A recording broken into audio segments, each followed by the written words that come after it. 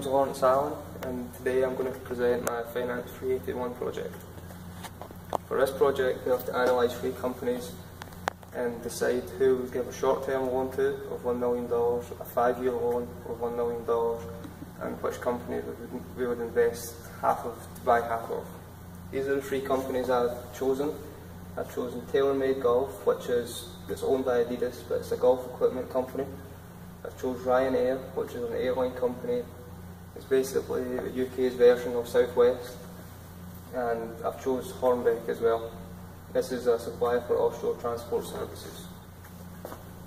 But to answer the first question, who I would give a $1 million six-month loan to, I've looked at current ratio, quick, the current quick and cash ratios.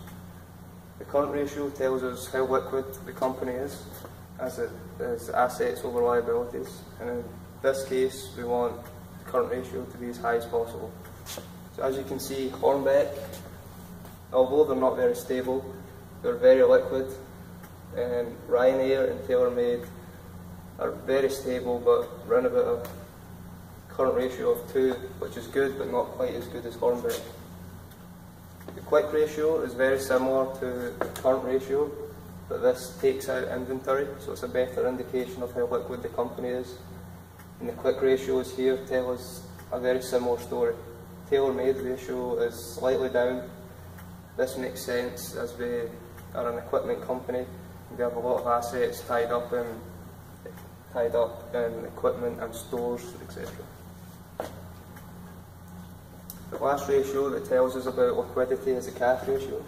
This is the most liquid ratio as it is just cash over liabilities. Again, you can see Hornbeck is the most liquid. So overall, I would I would loan $1 million to Hornbeck for six months, as we are very liquid and could easily pay me back. The second question is who would I give a $1 million five-year loan to? And to analyse companies, I, look, I asked myself two questions. The first question I asked is how much debt each company has, and the second question I asked is if these companies can afford to pay off their debt. And to do this, the ratios I looked at, I looked at the equity multiplier, which tells us how much money each company gets from creditors. I looked at the debt to equity ratio, which tells us for all of the company's assets how much of it they get from equity. So basically the same as the equity multiplier. And finally, I looked at the times interest earned ratio, which tells us if these companies can afford to pay off their debt. Equity multiplier, so how much debt each company has. As you can see, Ryanair has the most debt here, and TaylorMade and Hornbeck are pretty similar in terms of debt. Quite a high debt ratio, but nothing out of ordinary. Next, I looked at the debt to equity ratio. This again tells us how much debt each company has. As you can see here, TaylorMade has the lowest debt at roughly 30%, and Hornbeck and Ryanair have a lot of debt, which from my point of view isn't very good because if I'm lending them money, that's just going to add to their debt, which isn't good from my point of view. Next, I looked at the times interest earned ratio, which tells us although the companies have a lot of debt, if they're able to pay off their debt or not. As you can see here, Hornbeck, although they have a lot of debt, don't have a very good times interest earned ratio, so they may be struggling to pay back the debt. Ryanair and TaylorMade have very good times interest earned ratios, which tell me although they have debt, they're able to pay it off, and I wouldn't be worried about this. So, so overall, I would buy, I would lend $1 million for a five-year loan to TaylorMade because they have the most amount of equity and they have the highest times interest earned ratio, which means they'll be able to pay off their debt. The last question was if I had unlimited resources, which company I would buy half of. And to do this, I looked at return on assets, return on equity, and the PE, which is the future outlook of growth. Return on assets and return on equity just tells us from percent of assets a company has, how profitable they are with those assets. First of all, I looked at ROA, which is return on assets. You want this ratio to be as high as possible, which means each company is making most out of every dollar of assets they have. So Ryanair and TaylorMade have very good ROAs, Hornbeck not so much.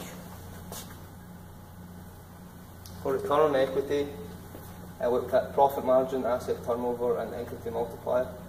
The profit margin off the top tells us how profitable each company is with their assets. We want this ratio to be as high as possible. As you can see, Hornbeck at one point is very high, but it's very inconsistent, so this is not a good this is not a good trait. Ryanair has a consistently good ratio. TaylorMade's ratio is not as high, but it's consistently good. Next, we looked at asset turnover.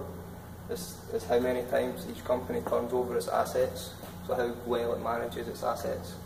TaylorMade has a very good ratio, which is very encouraging. Ryanair has a good ratio, but not as high, and Hornbeck isn't so good.